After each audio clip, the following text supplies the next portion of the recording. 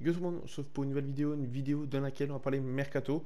Donc avant d'attaquer les gros gros dossiers, je juste à vous dire que Lyon est en train de faire passer des tests, en tout cas les deuxièmes tests, à une pépite mexicaine qui s'appelle Juan Pablo Ozuna, qui est en fin de contrat avec son club du, Deportivo Toluca au, Mexique.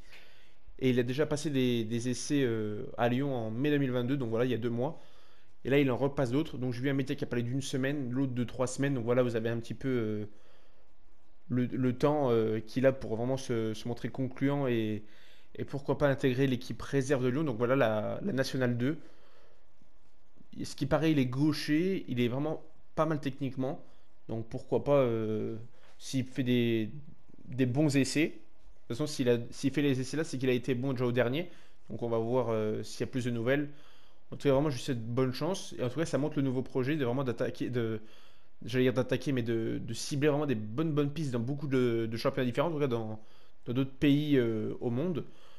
Et en tout cas, voilà, un, ça suit le projet de, que Textor a, voulu amener il y, a, quelques semaines. Donc vraiment, j'espère que ce joueur euh, montrera en tout cas ses pleines qualités et que pourquoi pas on le retrouve un jour dans, notre équipe première. Maintenant, on va attaquer les, les gros dossiers. N'hésitez pas à vous abonner. Merci pour tous les abonnements, les gars. Vraiment, ça, ça cartonne en ce moment. Donc vraiment, merci à vous tous. N'hésitez pas aussi à liker un maximum pour qu'il y ait encore plus, plus, plus de monde. Et bien sûr, à partager et à commenter. Dites-moi votre avis dans les commentaires. Je réponds vraiment à tout le monde. Vous pouvez le vérifier en dessous de, toutes les vidéos. Donc on va commencer, euh, je pense, avec Pjanic. Voilà, c'est une info qui est tombée hier. Comme quoi on aurait même transmis une offre. Donc sur Transfer Market, il vaut aux environs de 9,5 millions d'euros. Donc je vais juste vérifier, voilà, il a bien 32 ans. Donc euh, même s'il vient à Lyon, voilà, ce sera un rôle de doublure. Voilà, à mon avis, c'est. J'ai même proposé à quelqu'un dans les commentaires. Pour moi, il vient pour vraiment euh, être là. Si déjà Jeffrey Nadalaïd il part en prêt ou s'il part sur un transfert sec, et au cas où s'il y a un pépin au milieu de terrain, est-ce que si voilà, est-ce qu'ils ont vraiment confiance à 100% Tolisso ou est-ce que voilà, euh, ils le prennent voilà pour au cas où s'il a un petit pépin physique, parce que pour Cacré on a déjà le penant. Pour, euh, pour Paqueta, on a Cherki, si on joue en 4-2-3-1. Autrement, on aura encore Florent da Silva. Donc pour moi, c'est vraiment pour euh, être la doublure de, Tolisso. Donc voilà, après, tout le monde est en train de dire, ça m'énerve un peu que Lyon, voilà, ils reprennent, des anciens de chez eux, etc. Mais je sais pas, les, journalistes, ils, sont jaloux que, que Lyon, ils, ont enfin des moyens ou, comment ça se passe? Je, je, sais pas. C'est leur projet de récupérer des, anciens joueurs. Après, Tolisso, pour moi, il n'est pas cramé. Voilà, Pjanic, voilà, pour moi, il faut, peut-être le relancer encore. Peut-être qu'il est encore bon pour 2-3 saisons avant de partir peut-être en MLS ou quelque chose comme ça. Pour moi, la cadette, il, sort quand même de. À Arsenal, voilà, il n'est il est pas tombé dans la meilleure période, mais vraiment, il a, a eu des bonnes statistiques. Donc voilà, vraiment pour euh, le truc des anciens etc., etc. Déjà, aller regarder les autres clubs s'ils font un meilleur mercato que Lyon. Pour moi, honnêtement, Lyon, pour moi, c'est le meilleur mercato de Ligue 1. Donc voilà. Euh, donc vraiment, redescendez déjà les journalistes. Voilà, c'est un qui passe par là et qui est vraiment dans une grosse, grosse chaîne. Arrêtez de parler déjà mal de Lyon, laissez-les refaire leur mercato et laissez-les prouver. Voilà. Parce qu'avec Marseille, quand Longoria est arrivé, vous ne les avez pas critiqués comme ça. Donc voilà, redescendez directement d'un cran et laissez Lyon faire. Et une fois que, peut-être, si, j'espère en tout cas, je croise les doigts qu'ils réussissent leur saison, après vous réviserez un petit peu vos, paroles que vous avez dit en début de saison. Donc voilà, pour moi, Pjanic, pourquoi pas le tenter? Je pense qu'il risque de baisser son salaire. Voilà, il, il était au club pendant 3 ans, il a vraiment été très très bon. Il a eu sa blessure au péroné euh, en 2008-2009, je crois. Et après, il a vraiment explosé. Et après, en Italie, bah, ça a été un carnage. Il a été vraiment exceptionnel. Mais honnêtement, ça fait toujours du bien d'avoir de la, de, l'expérience au milieu de terrain. Donc, pourquoi pas? Après, c'est une doublure. Si, comme j'ai dit, il vient baisser son salaire. C'est, aussi, aussi pour, remplacer aussi Awar qui est vraiment en, partance pour Séville. Donc, euh, pour moi, c'est. Pourquoi pas, honnêtement? Pourquoi pas? Après, si vous avez une autre possibilité, euh, une autre idée au milieu de terrain, vraiment dites-moi dans les commentaires. Mais pour moi, Pjanic, ça pourrait vraiment euh, voilà, porter une autre expérience euh, de l'Espagne, voilà, de l'Italie, etc. Vraiment, moi, je dirais pourquoi pas. Maintenant, on va attaquer le sujet de l'arrière gauche parce, parce que maintenant, il y a, plusieurs euh, pistes, en tout cas, de nouvelles pistes.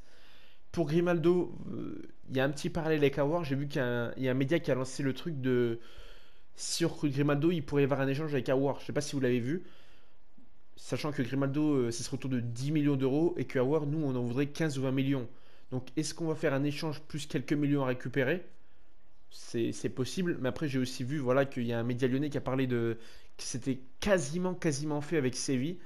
Donc comment on va se débrouiller? Est-ce qu'on attend un départ d'un joueur pour vraiment euh, foncer sur Grimaldo? Qui est vraiment. euh, voilà, on parle pas mal avec euh, Grimaldo à ce qui paraît. Donc voilà, euh, dites-moi votre avis sur le peut-être un échange ou est-ce que vous voulez vraiment 15 millions direct ou 20 millions euh, de récupérer dans les caisses avec un départ direct d'avoir euh, vers, le FC ou est-ce que vous préférez un échange voilà, être sûr d'avoir Grimaldo gratuitement, on peut, en, en, transfert je parle, et récupérer au pire 4 ou 5 millions. Là j'entends votre avis dans les commentaires. Ou sinon on a exploré aussi deux nouvelles pistes, c'est Omar Richards. Voilà, il y a un autre qui s'appelle Chris Richards qui est euh, à Offenheim, prêté par, euh, par le Bayern à Offenheim ou qui est directement à Offenheim. Mais là on piste Omar Richards, voilà, qui a 24 ans, qui est arrière gauche, donc doublure de, de Davis au Bayern. J'ai regardé un peu ses stats, il joue quasiment pas en même temps quand tu as Davis devant, c'est un petit peu dur de jouer. Tu pourrais vraiment être un très très bon arrière gauche et quasiment jamais jouer quand tu as un Davis devant. Donc est-ce qu'il faut lui faire euh, est-ce qu'il faut vraiment foncer sur euh, Omar euh, Richards? Moi je préférais un profil qui, a déjà joué énormément. Voilà, là c'est un profil qui a vraiment pas beaucoup joué, je crois qu'il a fait 12 matchs, c'est vraiment très très peu, voire des bouts de matchs quand il est rentré. Donc je préfère, vraiment un profil qui a vraiment beaucoup beaucoup joué comme Grimaldo, comme un Gaïa, voilà, qui est tout en sur le terrain, qui se bat, qui montre énormément de qualité. Là lui il a déjà 24 ans, il joue vraiment pas beaucoup. Donc je pense que vraiment s'il avait vraiment un, gros gros talent, je pense qu'il aurait déjà été recruté. Donc j'ai peur vraiment que ce soit vraiment euh, un flop. Donc je comme j'ai dit, autant se concentrer sur un Grimaldo. Et la deuxième euh, piste qui est tombée, c'est au- autour de qui a fait une saison, je crois, euh, 28 matchs, et il a fait une passe décisive seulement. Donc, à ce qui paraît, c'est un attaquant très très, euh, un attaquant, un défenseur gauche très très tonique, etc., qui est vraiment assez rapide. Bon, après, il a pas non plus des stats vraiment hyper hyper folles. On, ce qui paraît en concurrence avec Nice. Donc voilà, c'est les deux seuls pour le moment sur le dossier. Donc, à mon avis, Estupinan, c'est notre plan B si on loupe Grimaldo. Parce que Tagliafico, pour moi, c'est mort.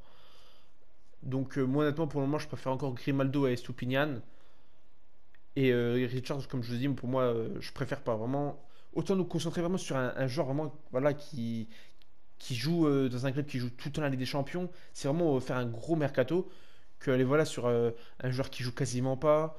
Après Stoupian, je je- j'aurais à lui dire, mais les Villarreal, c'est la seule année où ils ont été dans la Ligue des Champions. Après le reste, voilà, c'est c'est vide Villarreal. Ils ont gagné la Ligue Europa, mais si vous enlevez les deux années-là, c'est très très peu.